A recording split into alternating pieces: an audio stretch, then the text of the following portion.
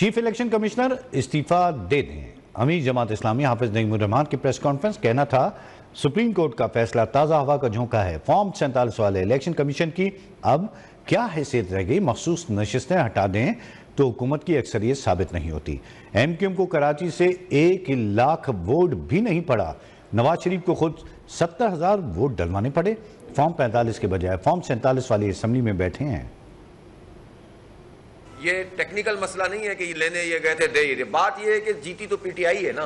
अब कराची में कौन जीता है? बताए पीटीआई जीती है, जमात इस्लामी जीती है। एमक्यूएम और पीपल्स पार्टी को सीटें तकसीम करके दे दी गई। एक सीट भी नहीं जीते ये लोग। और इनको जो है वो सीटें दे दी गई। तो अब आप क्या कहेंगे कि टेक्निकल ग्राउंड पे सुन्नी इत्याग काउंसिल की सीट होनी चाहिए? वो जो भी नाम हो, असल बात यह कि फैसला बिल्कुल ठीक है। और अगर पहले फैसले में कोई सकम था तो वो सुप्रीम कोर्ट ठीक कर ले। ये फैसला बिल्कुल ठीक है। और अगर ये फॉर्म 45 का जुडिशल कमीशन बन गया तो फिर हुकूमत तो रहेगी नहीं ना ये वाली, फिर खत्म हो जाएगी।